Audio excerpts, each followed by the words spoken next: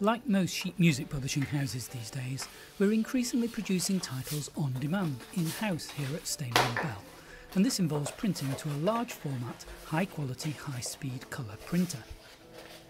Now our Xerox machine will fold and staple up to A3 size, and it can print but not staple up to A3 plus, which is 12 inches by 18.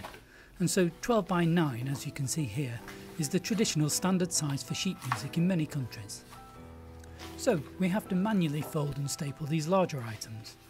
Here I have a 250 gram card cover and two 120 gram sheets and a long arm stapler.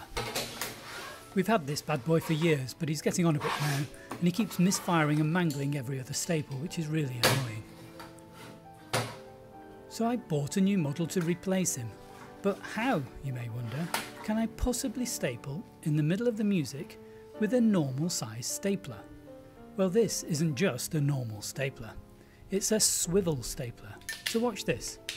You turn the cassette 90 degrees and ta-da! You can staple from the top and from the bottom.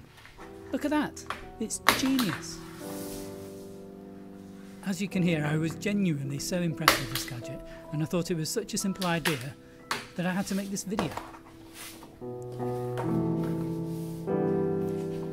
There's a link with details about the stapler and the music used in this video in the comments. Thanks for watching.